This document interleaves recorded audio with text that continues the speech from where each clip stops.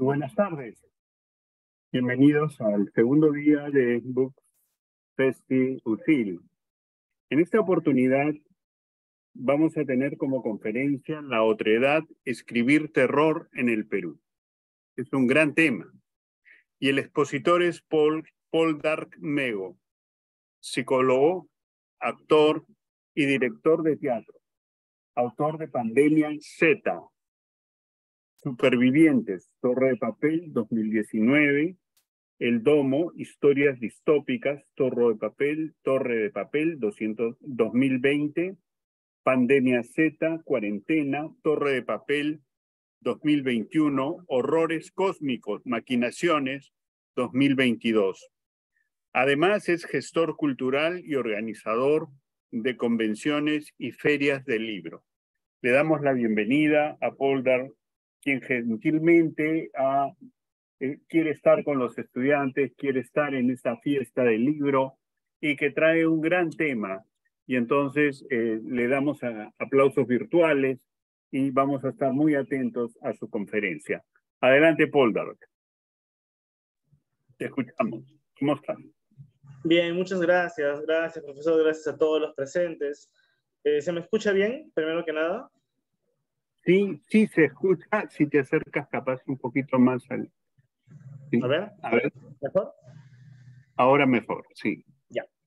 Ok. Bien, bueno, antes que nada, muchas gracias por esta invitación eh, nuevamente. Es un gusto estar eh, en estas aulas virtuales. Ya pude estar en su momento, otro hora tiempo, de forma, de forma presencial con ustedes.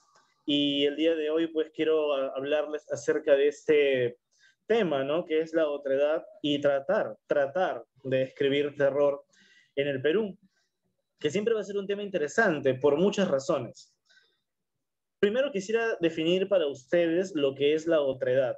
La otredad no únicamente se queda sucinto al terror como tal, entra también en el terreno de lo, de lo wired, de lo fantástico, y básicamente, para el entendimiento de todos, es lo extraño, es el elemento que tú como autor eliges para perturbar a tus personajes. Bien, tranquilamente podemos poner de ejemplo, creo yo, al más remarcable de todos, que podría ser Lovecraft. ¿no? Howard Philip Lovecraft, este autor estadounidense, creador de los mitos de Cthulhu y tantos otros eh, monstruos de su enorme panteón, él proponía que aquello que daba miedo era lo desconocido. Eh, evidentemente, en lo desconocido nosotros tendemos a proyectar nuestros miedos, ¿no? Cuando todo está oscuro y ves una ruma de ropa, para ti puede ser un monstruo, para ti puede ser un zombie, para ti puede ser, para cada quien va a ser algo diferente, dependiendo, dependiendo qué es lo que te da miedo, ¿no? Entonces, Lovecraft en la vastedad del universo proponía estos seres descomunales, nuestros colosos de carne y locura, que solo pronunciar sus nombres hacía que la gente entrara en demencia, perdiera la razón o hasta se hicieran daño a sí mismos. Esa es una parte muy importante de esta otredad, porque es lo que Lovecraft en todo caso decide usar para causar la perturbación. Pero la otredad en sí puede ser cualquier cosa. Hay un cuento de Stephen King, por ejemplo, en la que el elemento que perturba es una lavadora, por ejemplo, ¿no? Y tú dirás, ¿cómo pasa eso? No, bueno, es una lavadora que por esas cosas de la vida le cae ropa con sangre y luego también ciertos ritos satánicos y al final la lavadora termina convirtiéndose en una suerte de elemento poseído, ¿no? Un, un objeto maldito o algo así. Entonces la otredad la puedes elegir tú. Tú decides qué puede ser. Personalmente, eh, Stephen King, bueno, es un autor muy, eh, muy hablado, ¿no? muy, muy, muy mainstream, por así decirlo, pero hay uno que está recién tomando cierta valoración que creo que hay que prestarle mucha atención, que es Thomas Ligotin. Thomas Ligotin, que es un autor italoamericano, eh, es ha escrito muy poco, hay que admitirlo, pero lo que ha hecho es oro puro. Él nos propone una otredad que sinceramente da bastante miedo, ¿no? Que es la otredad de la mediocridad, por ejemplo. ¿no? Él propone que a través de esta, eh, de esta historia de la caverna de Platón, se le habrán escuchado, ¿no? esta, este mito, bueno, esta, esta fábula eh, en la que pues las personas están encerradas en una cueva y toda su realidad es una cueva, piensan que esa es la realidad, piensan que no hay más que esa oscuridad, que ese eh, sitio lúgubre, húmedo, doloroso, eh, y de pronto alguien se escapa, logra salir de la cueva y se da cuenta que fuera de la cueva hay todo un mundo, un mundo mágico, ¿no? Está pues el sol, el río, colores, eh, las flores perfumadas, hay toda una realidad diferente. Y regresa a la cueva para decirle a los, a los demás esclavizados que eso que están viendo no es la realidad, que si se liberan de sus cadenas afuera, hay un mundo mucho mejor. Y la mayoría, por no decir todos, los esclavizados, le dicen que no, que está loco y que la cueva es la única realidad y que, y esta es la parte importante, ¿no? Y que salir, o sea, son conscientes de que la realidad que están viviendo es horrenda, pero salir podría significar enfrentar una realidad peor. Entonces, prefiero quedarme donde estoy, aunque sea un punto mediocre, aunque sea un punto doloroso, un punto que me destruye, porque tengo miedo de que cambiar este statu quo sea peor. Y ese miedo lo podemos ver tranquilamente en producciones como Matrix, ¿no? Que justamente plantea eso, ¿no? Hay una realidad luego te desconectas y mira, estás fuera de la cueva. También eh, The Truman Show, ¿no? Con Jim Carrey, también es una película que nos habla de eso, no existe un universo, un mundo, y total, pues es mentira, ¿no? Y fuera hay algo más. En fin, este no hay nada nuevo bajo el sol, así que la otredad eh, se puede utilizar de muchas formas, ¿no? Eh, a todo esto, la otredad que tú elijas es importante, ¿no? Porque ¿qué es lo que te causa temor? ¿Qué es lo que te causa perturbación? que consideres que va a poder causar perturbación a otras personas. Entonces hay como que temas bastante eh, generales, ¿no? Es decir, la muerte, por ejemplo, el abandono, la soledad, la venganza, ¿no? Hay otras edades que podrían cortar a la humanidad de una misma forma, ¿no? Bajo, el mismo, bajo la misma eh, navaja. Pero también podrían haber otras edades mucho más específicas, como, no sé, este, la pérdida de un hijo o una enfermedad muy específica, eh, la eutanasia, por ejemplo, ahora que eh, está de boga eh, el nuevo premio Alfaguara de los 100 cuyes, ¿no? Entonces, la otredad, pues, puede ser muy variada. El asunto es, y esto aquí entrando ya al, al, punto que nos viene a tratar, ¿no? Ya sabemos qué es la otredad, ahora la pregunta es, ¿se puede escribir terror aquí en el Perú? Y vamos a intentar definir lo que es el terror, primero que nada, ¿no? Terror se entiende que es un género, ¿bien? Es, una, narrativa, es un estilo, eh, es un enfoque, ¿bien? Pero sobre todo es algo que debe causar perturbación. Eso es lo importante, ¿no? leer una historia de terror, el ver una película de terror debe causar perturbación, no fascinación, ¿bien? Perturbación, son dos cosas muy diferentes. Entonces, uno puede decir, bueno, eso es sencillo, no escribo una historia, mira, de un asesino en serio, qué sé yo, no sombras, duendes, mira, tenemos tanto folclore mágico de dónde poder explotar que, no, que nos bastaría una vida y media, dos vidas para poder escribir de todo, ¿no? Hasta ahí. Sin embargo, hay un detalle que a mí me fascina y es el estudio y la razón de la charla de hoy. ¿Por qué digo que hay que tratar de escribir eh, terror en el Perú? Porque el Perú es un país muy anecdótico, ¿no? Muy mágico, muy curioso. Eh, si bien tenemos una maravilla moderna y tenemos paisajes naturales y tenemos, eh, no lo sé, gastronomía, todo lo que quieras enumerar como cosas positivas, cierto es que el país eh, experimenta una crisis. Y decir que la crisis es contemporánea es una falacia. Tengo entendido, si puedo hablar quizás desde un punto muy, eh, muy desconocedor de la historia, pero para mí, por lo poco que sé de esos 200 años que tenemos de independencia, el Perú ha estado entrando de crisis tras crisis tras crisis. Hemos pasado por gobiernos militares, por dictaduras, por golpes de Estado, por recesiones, por guerras internas, externas. No creo que haya una década, bien, desde 1800 eh, hasta la actualidad, una década en la que no hayamos tenido una crisis. ¿Mm? Cambios de gobiernos abruptos, corrupción, etc. Entonces, fijémonos en este fenómeno psicológico, el fenómeno de la desensibilización. Bien, ¿qué es la desensibilización desde el punto de vista de la psicología clínica? ¿Qué nos dice la desensibilización? Nos dice pues que nosotros tenemos un umbral, un umbral de protección mental, por así decirlo. Bien, es decir, podemos tolerar cierto nivel de estrés, podemos tolerar cierto nivel de ansiedad, podemos tolerar cierto nivel de tristeza o depresión, podemos tolerar.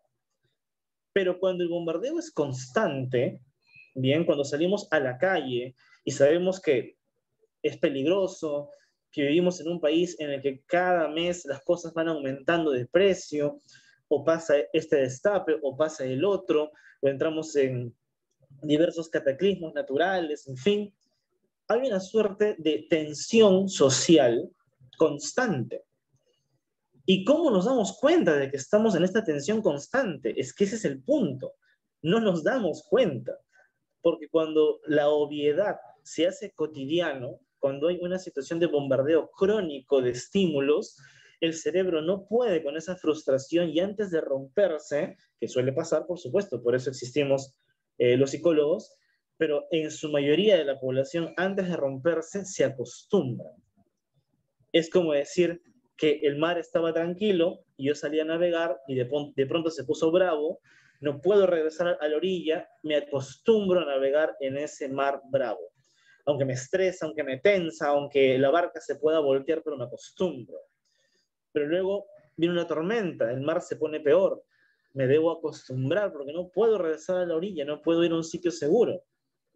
De esa forma, constantemente, las crisis que, que vamos viviendo nos desensibilizan. ¿Y cómo sabemos eso? Bueno, pues puede ocurrir que tal vez tú de joven más pequeño, más inocente, eh, con un nivel de frustración, ¿no? Es, digamos, este, más adecuado. Puedes leer sobre feminicidios en, ¿no? En la capital, en el Perú, que somos un país bastante peligroso para las mujeres. Y en un momento, pues, te horrorizas, en un momento se te suben los colores y es como, wow, ¿qué está pasando? Y tal vez te enervas, ¿no? O te entristeces, etcétera. Son emociones bastante extremas, bastante vívidas, viscerales. Pero imaginemos que lees esta noticia el día siguiente, y el día siguiente, y toda la semana, y todo el mes, y todo el año. Llega un punto en el que sí, claro, sigues molesto por la situación, sigues fastidiado porque, porque una mujer no puede salir a la calle sin ser acosada o sin que tenga el miedo de que, de que no vuelva a casa. Pero esa indignación inicial ya ha mermado. ¿Por qué? porque nos hemos acostumbrado, nos hemos desensibilizado, sabemos que está mal, sabemos que es algo terrible, sabemos que es una realidad que debe cambiar, pero es tan constante que el efecto, el golpe psíquico, ¿no? el golpe mental, anímico, ya es cada vez menor. Entonces, si estamos hablando de crear terror en el Perú, ¿cómo podemos crear terror? ¿Cómo, ¿Qué otra edad tenemos que elegir que perturbe a la sociedad si la sociedad vive en constante perturbación. Y cuando vemos una producción en la cual hay gore, hay sangre, hay violencia explícita, hay una serie de, estímulos violentos, lo encontramos fascinante. Encontramos que esa es una serie que está hecha para nosotros, una serie que se aleja bien de la inocentada común y pues revela la naturaleza humana como si la única naturaleza humana que existiera fuera la retorcida. Es por eso que es un reto escribir terror en nuestro país. Solo pónganse a pensar. Y esto lo recuerdo bien, hace años atrás eh, tuve el placer de conocer a Daniel Salvo, que es un autor de ciencia ficción, amigo, de paso, eh, agradecido por su amistad. Y en la primera vez que conversamos, justamente hablábamos del impacto que puede tener el, el estímulo ambiental en nosotros. Y él me decía algo muy sencillo, ¿no? ¿Cómo no pensar que ya estamos en una realidad distópica? Bien, para definiciones breves, distopía es un futuro, una realidad pues que se aleja de lo perfecto, que es todo lo contrario, es lo miserable, es lo, lo, lo, acabado, ¿no? ¿Cómo no darnos cuenta de que estamos viviendo en una distopía? Mira a tu alrededor. Y yo asomé la cabeza por la ventana y vi edificios, casas, parques, lo de toda la vida. Hasta que él me hizo hincapié en un detalle. Mira que las casas, por ejemplo, la fachada, bien, la fachada está bien pintadita, bien cuidada y todo, pero los laterales de las casas tienen el ladrillo expuesto. No hay una preocupación por ese residente, esa familia, ¿no? De decorar toda la casa, solo lo necesario, la fachada. Entonces, a donde quiera que veas y de pronto prestando atención en los detalles, efectivamente, ¿no?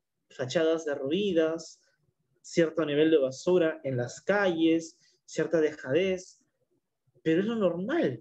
Era un barrio relativamente clase media, donde uno, donde, uno ha vivido la mitad de su vida, entonces pues ya vives acostumbrado a eso, crees que es algo que está bien, porque está normalizado. ¿Bien? No me impresiona hasta que de pronto entiendes el contexto. Y esa parte es importante entonces. Bien, ¿cómo si ustedes están interesados en escribir una historia de terror, ¿cómo logramos que esa historia de terror realmente perturbe? Es decir, que el lector lo lea y sienta ese escalofrío, que al momento de hacerse esa imagen mental de la otredad que tú has elegido, sienta pues miedo, porque el terror es causar miedo, en lugar de que diga, ah, qué genial, sí, él es el asesino, jaja. Entendamos algo, que una conducta esté normalizada socialmente no significa que sea correcto. ¿Bien? Porque, por ejemplo, puede estar normalizado la violencia, pero la violencia no es correcta. Entonces, démonos cuenta como sociedad, quizás esta charla va hacia el lado de la literatura, pero hagamos un poquito de análisis social. ¿Qué estamos normalizando como sociedad que nos desensibiliza? Al punto que encontramos la violencia, ya sea escrita, ya sea gráfica, ya sea en una película, lo que fuese, la encontramos fascinante, ¿bien? Y no por el contrario decir, bueno, sí, claro, esto es ficción, ¿bien? Pero no tiene por qué fascinarme, me entretiene y hasta ahí, pero no es una suerte de paralelismo con la sociedad en la que estoy viviendo. Y por el contrario, ver esto que me puede entretener, leer este libro que me puede entretener, debe de causar en mí una reacción distinta, una reacción en la cual me preocupe por una sociedad en la que no esté normalizada la violencia o, bueno, lo que, esté, lo que se exponga en lo que uno está leyendo o consumiendo. Bien, que el entretenimiento no, no debe dejar de ser entretenimiento, esa es la finalidad de cualquier arte. Bien, la, la, literatura, al menos mi posición, me podrían contradecir, pero la literatura no tiene por qué ser eh, aleccionadora, moralista, política, no tiene por qué tener ningún tipo de esas inclinaciones. Podría tenerlo si el autor lo desea, pero creo que ese no es el fin, el fin es entretener. Entonces, que yo consuma esto como entretenimiento no quiere decir que igual deba ser inconsciente o conscientemente normalizar esos mensajes en la sociedad. ¿Mm? Es un reto entonces para los autores que queremos hacer terror, pues escribir algo que realmente haga que la gente sienta un remordimiento, sienta ¿no? ese retorcijón en el estómago, en el, espíritu, en el corazón. Y creo que ese es nuestro mayor desafío. Bien, otro desafío que tiene que ver con esta relación entre la otredad y el terror, creo que radica en justamente en la otredad que como peruanos podríamos utilizar, es decir, qué tipo de otredad voy a elegir para asustar a mis congéneres, no a mis compatriotas. Porque siendo sinceros, bien, dependiendo de la exposición en la que estés, hay muchas otredades con las que vivimos día a día, ¿no es cierto? Ya por mencionar, la violencia contra la mujer es una, pero tal vez la corrupción es otra, tal vez la inseguridad ciudadana es otra, tal vez el tema de salud, tal vez el tema del COVID, ¿no? Es decir, estamos con tantas otredades, estamos rodeados de tantas aparentes amenazas, ¿bien? Que elegir una es como que, eh, ya escuché de eso, ¿no? Y no crea ya esa, eh, digamos, esa suerte de, ah, es lo nuevo, es lo desconocido, es algo a lo que nunca me he enfrentado y por eso me causa repelús, ¿no? Me causa esa inestabilidad, esa, esa eh, perturbación, ¿no?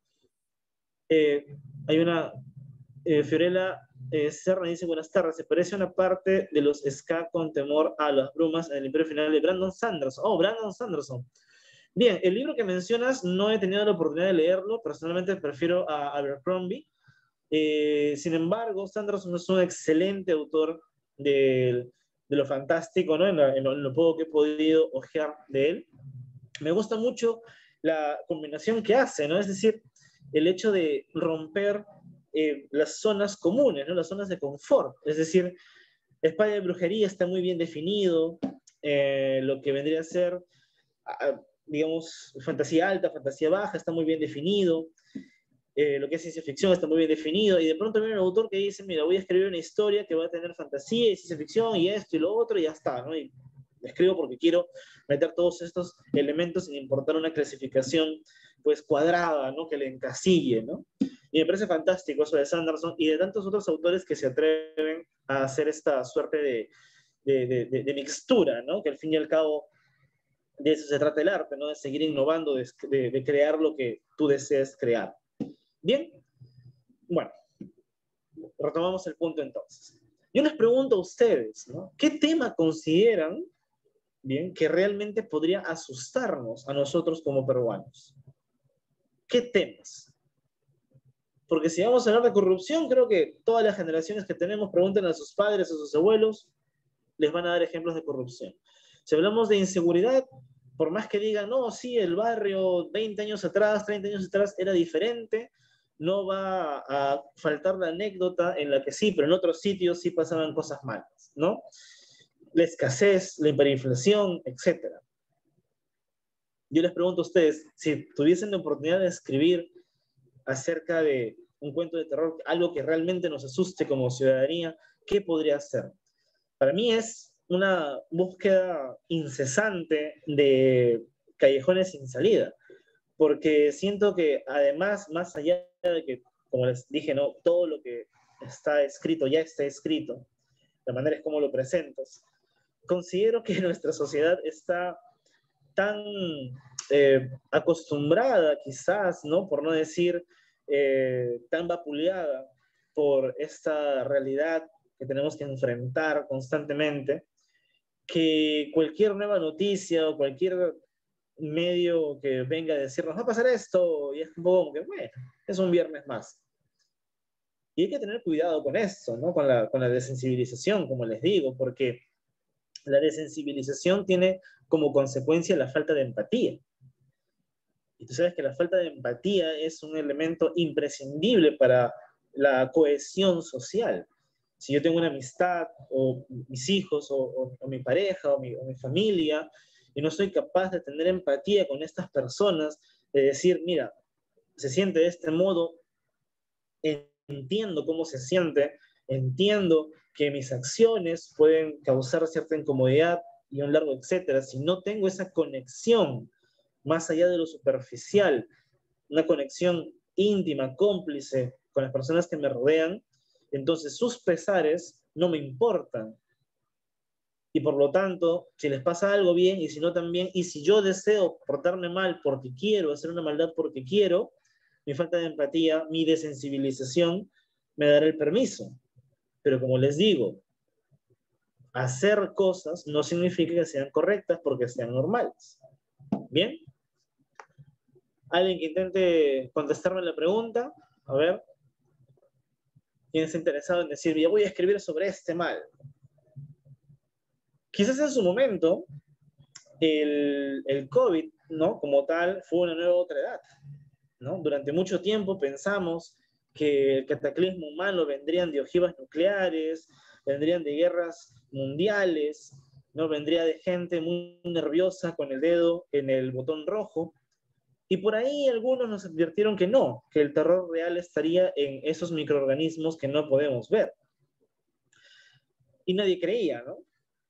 Hasta que nos ocurre esta pandemia, que no es la primera. Si ustedes saben bien, el mundo ha sufrido pandemias constantes, ¿no? Cada cierto tiempo, una suerte de selección natural eh, barre cierta parte de la población, independientemente de que sean humanos u otros animales, los, animales también tienen sistemas virales, y eso es básicamente el ciclo, ¿no? Y ya está.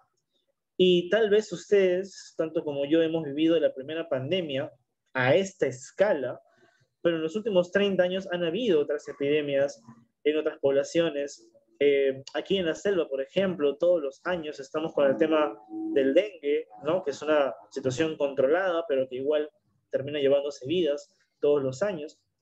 Entonces no es tampoco tan ajeno, tampoco es tan ajeno a. Mi conclusión, para no ir por tantos derroteros, bien, eh, es que la, la autoridad que elijas debe ser sumamente específica, sumamente específica probablemente no conectes con mucha gente.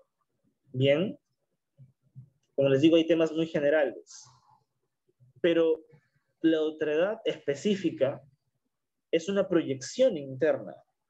Y como artistas, como escritores, como eh, creadores, bien, eh, no hay nada más real, nada más descarnado, nada más abierto, como un nervio expuesto, como una herida sangrante, que nuestros propios demonios.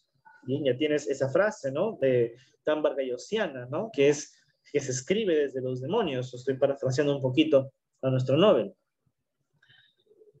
Siendo así, por ejemplo, ¿no? He mencionado el libro El Domo. En el, libro El Domo, que son 10 cuentos de ciencia ficción que escribí poco antes de la pandemia y durante la misma, eh, utilizando la ciencia ficción, intenté emular esta, e, e, e, este cuento de la caverna de Platón, bien, eh, demostrando ¿no? que hay 10 maneras de contar esa historia y, definitivamente miles más, ¿no? pero buscaba mis 10 propias interpretaciones en las que la mediocridad hace que no, no nos movamos, ¿no? No, nos inactive y por lo tanto al no accionar nos dejamos consumir por aquello que nos hace daño. Esa es la, premisa, por así decirlo, de ese libro. En el caso de Pandemia Z, Supervivientes, que es la, el primer libro de la saga, eh, la otredad que quise exponer era básicamente la depresión y la soledad. ¿Por qué uno puede decir depresión, soledad? Pero eso no da miedo, ¿no? eso da, da pena. Bueno, hay gente que tiene mucho miedo a la soledad. Hay gente que por no quedarse solo busca vínculos irracionales con gente disfuncional porque la soledad es tan terrible para estas personas que prefieren meterse con gente que les va a hacer daño a no estar solos. Entonces la soledad para mí es un elemento que sí da miedo y que tal vez en su momento más de joven tampoco sabía manejar, ¿no? porque así pasa con todos. Así que decidí tomarlo desde ese punto. Em, en Pandemia Cuarentena, que es el segundo libro, pues la otra edad que está ahí es la, la pérdida de un hijo, ¿no? Porque me gustó este lema que alguna vez habré escuchado, ¿no? Cuando un hijo pierde a un padre, eres un huérfano.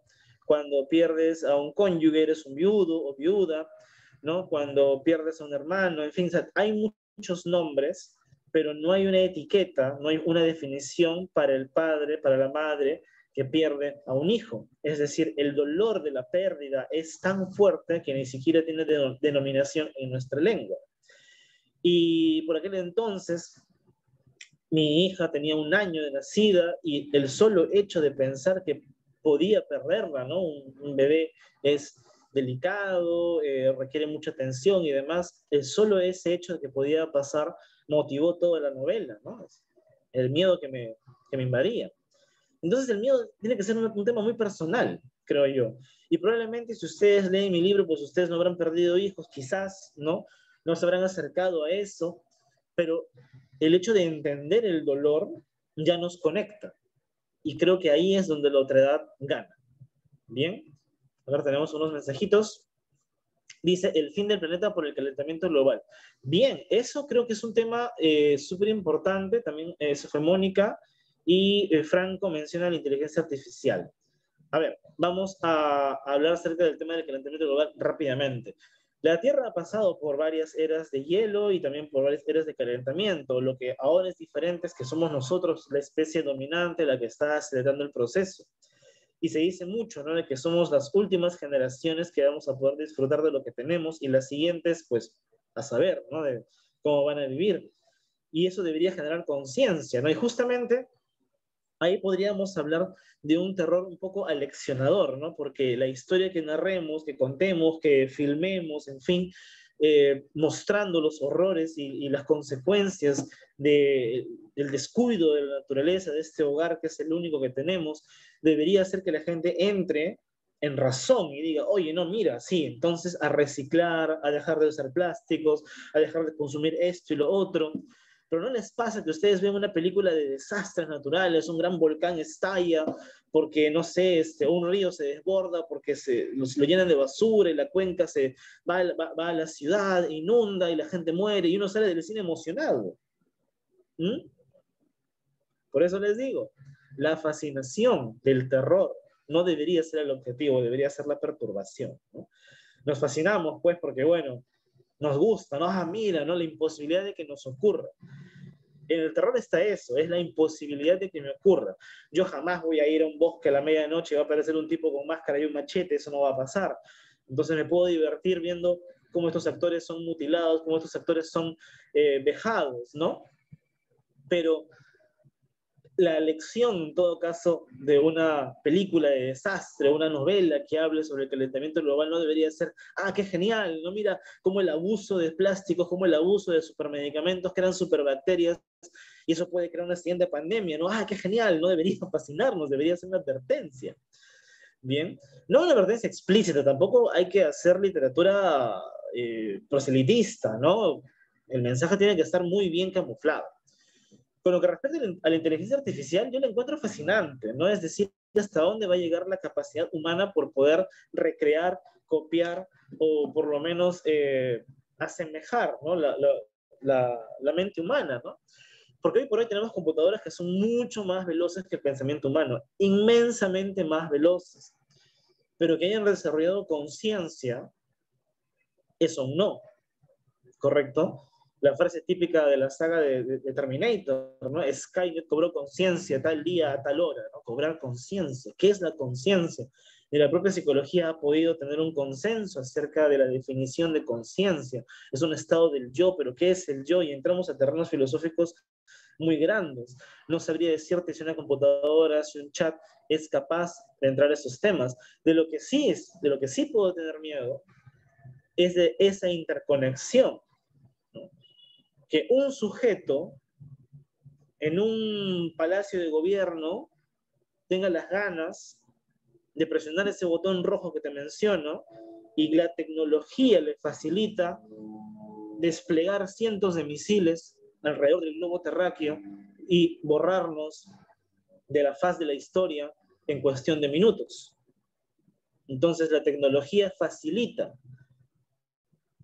que la maldad humana pueda expresarse, porque la tecnología no es ni buena ni mala, es cómo la uses. Bien, es cómo la uses. Pero da miedo saber que tenemos la, la capacidad de poder utilizarla para el daño, ¿no? A ver, ¿qué más dice aquí? Eh, tanto nivel del miedo a que tome nuestros lugares como el miedo a que tome un rol de ser pensante, un ente en sí mismo más fuerte y en potencia más inteligente.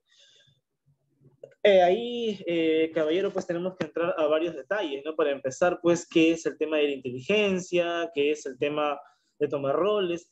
obviamente, pues, hoy por hoy hay mucha automatización, ¿no? Algo que podría dar miedo, una otra edad que podría dar miedo, es el hecho de que cada vez hay más puestos automatizados y cada vez más gente que no es necesaria para esas labores. Entonces, un futuro como el que Elon Musk eh, propone, en la que el ser humano ya no realice ningún tipo de labor operativa, porque van a haber máquinas que van a encargarse de todo, y entonces, ¿qué vamos a hacer nosotros? Disfrutar la vida, ok, disfrutar la vida, pero ¿cómo disfruto la vida si no genero, si no tengo un trabajo para generar ingresos para disfrutar la vida? O mínimo para alimentarme, ¿no? Entonces, pues no es tampoco tan utópico que existan todas las máquinas y que hagan todo por nosotros y nosotros tirarnos al sofá a ver Netflix todo el día. Eso es algo también bastante... Eh, se, muestra como una utopía, pero en realidad es una distopía bastante marcada, ¿no?